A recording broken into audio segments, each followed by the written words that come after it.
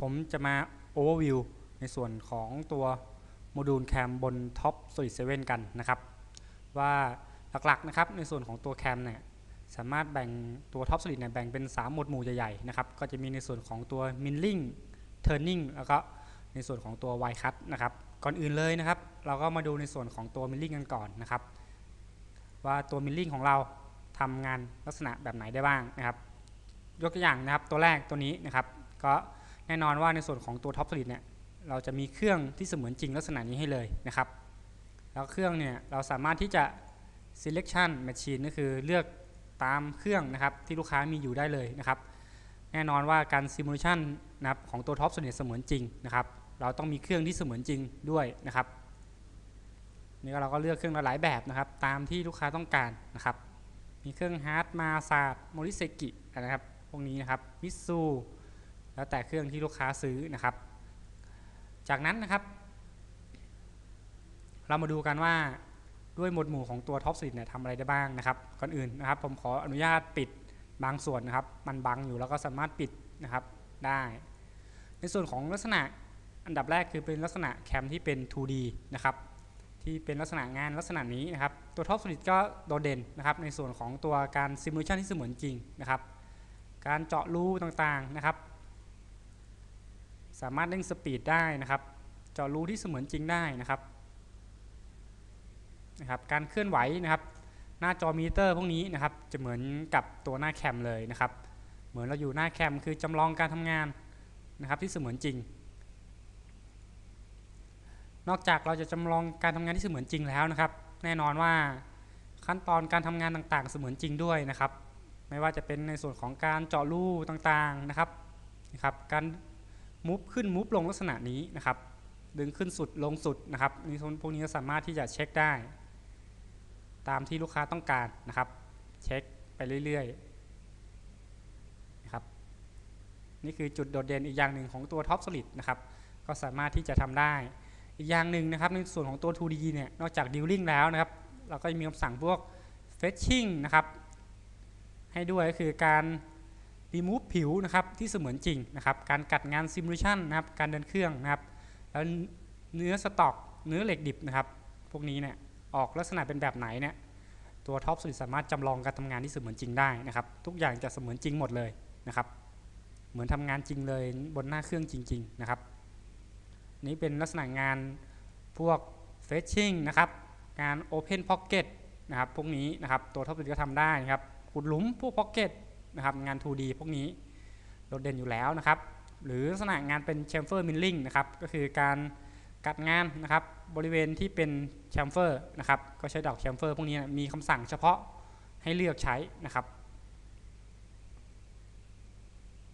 นะครับจำลองการทำงานการหมุนที่เหมือนจริงนะครับจากนั้นนะครับ corner ก็ได้นะครับไม่จะเป็นว่าจะเป็น chamfer ไม่ว่าจะเป็น chamfer corner พวกนี้นะครับตัว Top Solid ก็มี tool นะครับที่เสมือนจริง แล้วการกัดงานเข้าร่องนะครับ พวกนี้ที่เสมือนจริงนะครับไหลเข้าไปนะครับค่อยๆออกจากงาน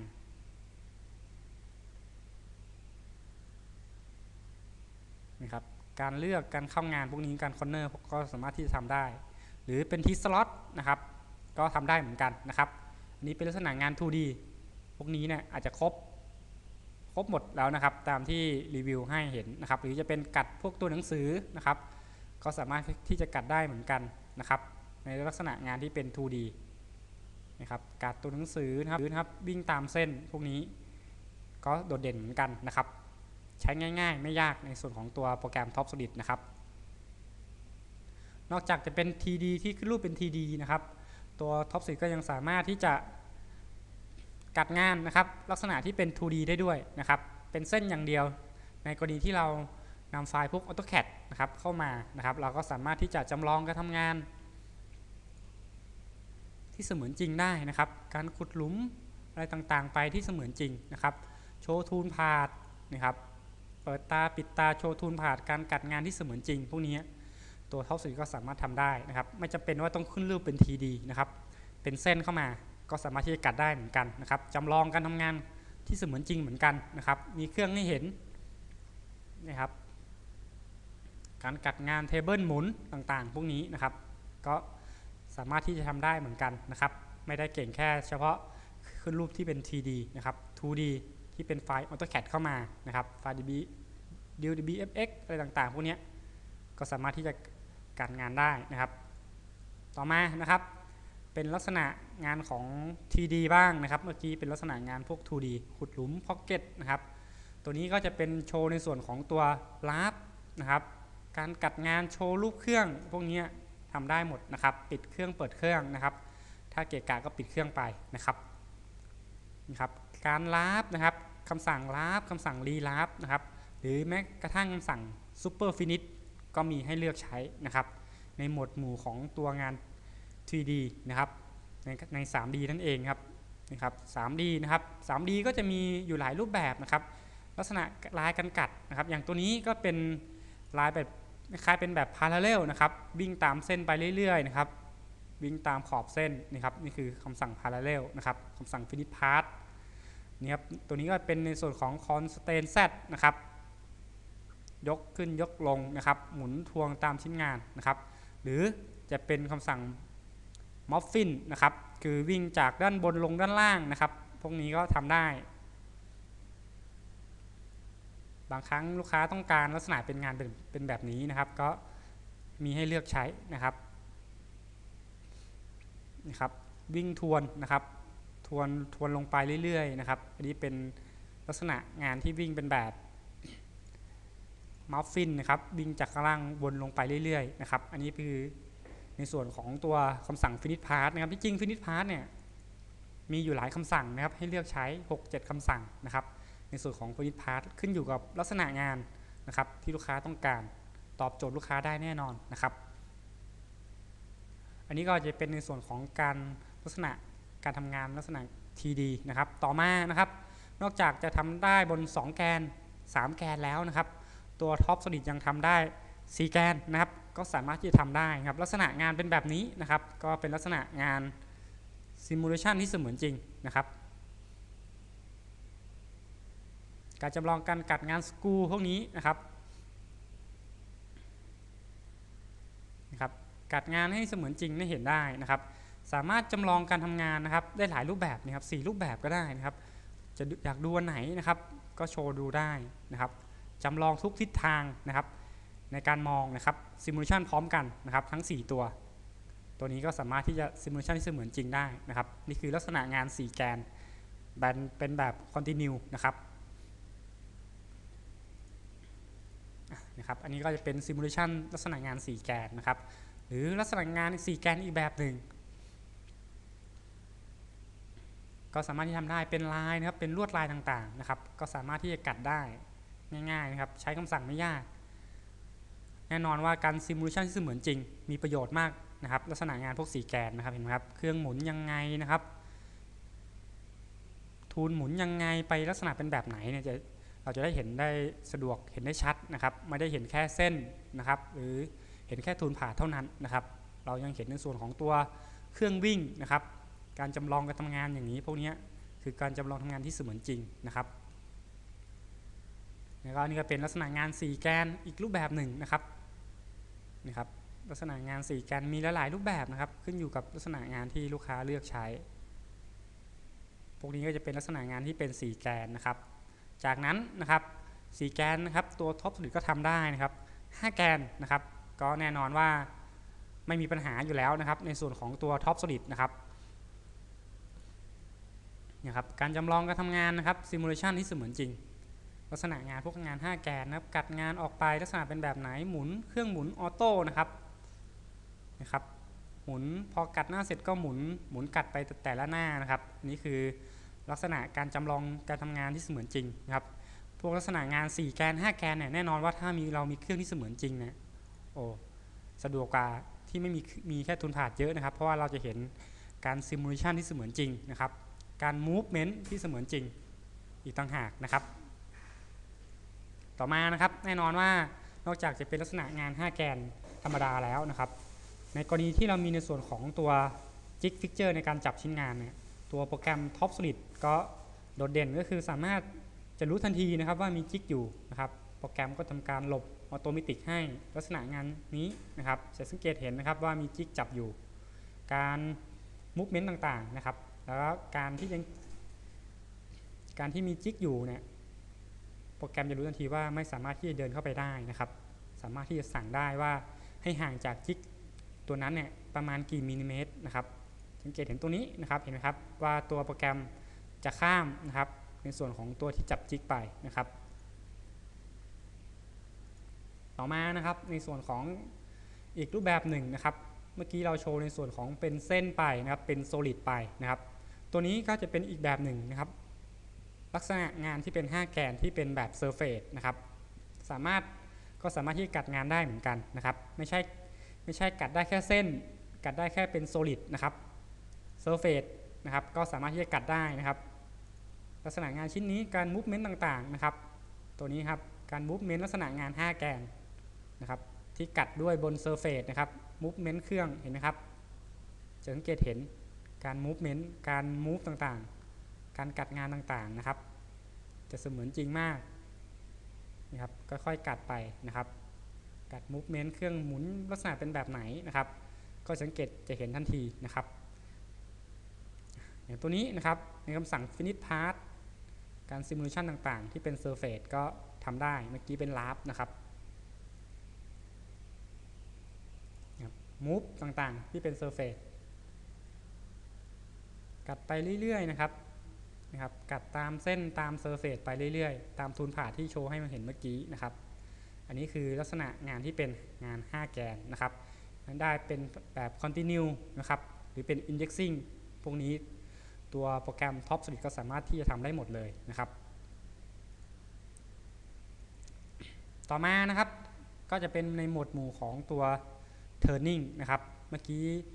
เป็น milling ก็ จะทำได้ตั้งแต่ 2 แกน 3 แกน 4 แกน 5 แกนนะครับ ในส่วนของ turning นะครับ แน่นอนว่า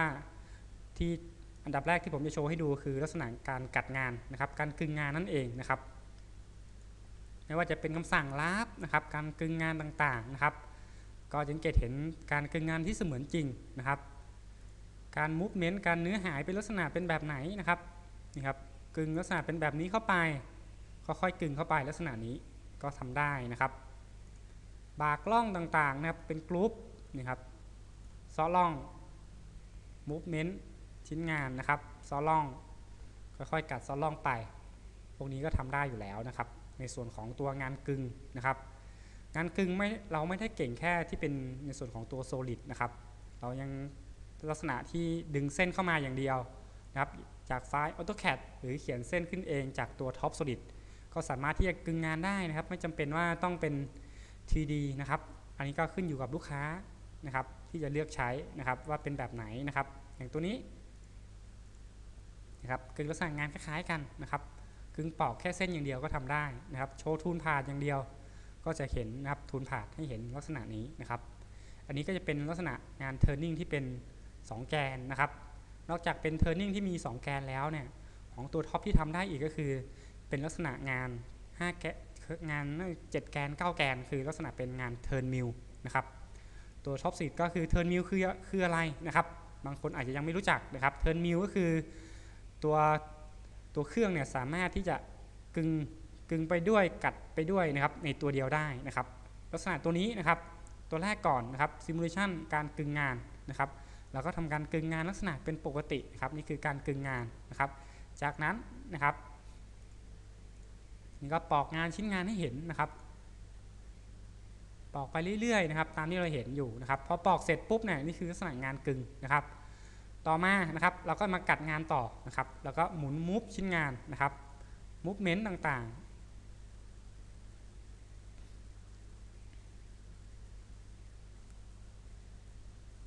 นะครับ movement movement ต่างๆนะครับแล้วก็เป็นลักษณะการกลึงงานที่มีดอก milling เข้ามานะครับ พวกนี้ก็ตัว TopSolid โดดเด่นอยู่แล้วนะครับ โชว์ simulation ต่างๆ ให้เห็น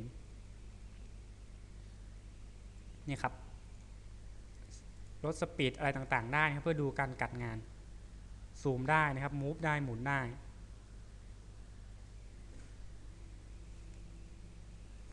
อันนี้ก็จะเป็นลักษณะงานพวกงาน turn mill ที่เป็น 7 แกนนะครับ movement ต่างๆ ที่เสมือนจริง การกัดงานกลึงงานในตัวเดียวกันนะครับ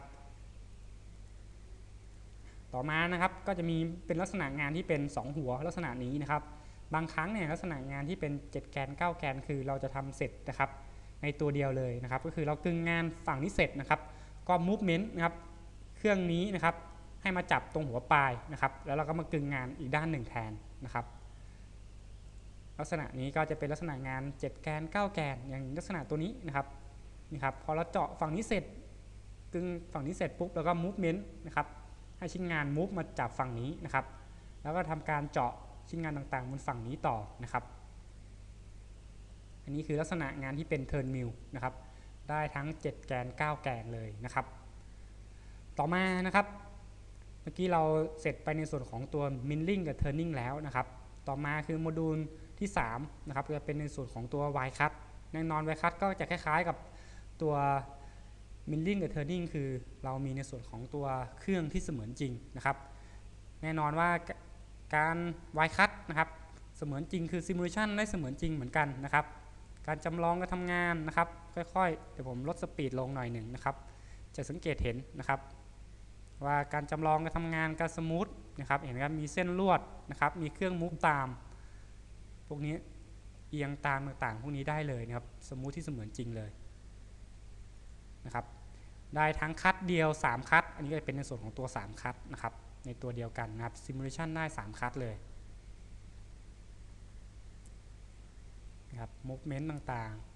ๆ เพิ่ม speed ลด speed ได้หมดนะครับ จากนั้นที่ผมยังไม่ได้โชว์ให้เห็นคือการออกในส่วนของตัว G code นะครับ พอเราทำเสร็จปุ๊บเนี่ยแน่นอนว่า G code ของตัวโปรแกรมจะออกบริเวณมุมนี้ได้เลยอีกต่างหากนะครับ การซิมูเลชันที่เสมือนจริง G code ที่ออกเสมือนจริงนะครับหน้าเครื่องที่รันที่เสมือนจริง ทุกอย่างของตัวโปรแกรม Top Solid เนี่ยคือทำงานเสมือนจริงทั้งหมดนะครับ อันนี้ก็จะเป็นในส่วนของตัวตัวที่เป็น Solid นะครับ แล้วก็เป็นเส้นอย่างเดียวก็ได้นะครับ ไม่จำเป็นต้องว่าต้องเป็น Solid นะครับ อย่างตัวนี้นะครับก็ Simulation นะครับ ก็เป็นที่เป็นลักษณะงานที่เป็นนี้ก็ได้นะครับ Movement ต่างๆนะครับ โชว์แค่เครื่อง โชว์แค่เทเบิลอย่างเดียวก็ได้นะครับ นี่จะเป็นในส่วนของกัดงานที่เส้นอย่างเดียววิ่งตามเส้นนะครับนี่ก็จะเป็นในส่วนของโมดูล ในส่วนของตัว Y cut นะครับ Post Processor นะครับ แน่นอนว่าด้วยของตัวโปรแกรม TopSolid นะครับนี่ครับรองรับแน่นอนนะครับ Post Processor ต่างๆนะครับ ไม่ว่าจะเป็นในส่วนของตัว APT อันนี้น่าจะเป็นพวก robot นะครับ ก็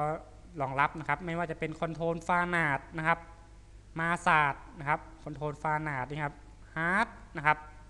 Mazak พวกนี้นะครับ แน่นอนว่าตัวโปรแกรม Top 10รองรับเยอะเป็นพันๆโพสเลยนะครับ ขึ้นอยู่กับลูกค้านะครับ ว่าต้องการโพสเป็นแบบไหนอะยกตัวอย่างตัวนี้ก็มีครับมี5แกน Fanuc 5แกน3แกน5แกนนะครับ mill turn นะครับก็มีนะครับ หรือในส่วนของตัว Mori Seiki นะครับเป็นเครื่อง Mori Seiki นะครับก็มีให้เลือกใช้นะครับโอคุมานะครับก็มีให้เลือกนะครับนี่คือในส่วนของตัวโพสต์นะครับมีเยอะมากนะครับ เยอะมากเป็นพันๆโพสต์เลยนะครับเราสามารถแน่นอนว่ารองรับทุกอย่างนะครับในส่วนของตัวโพสต์ทุกตัวนะครับเลยนะครับ ในส่วนของตัวแคม ที่เป็น milling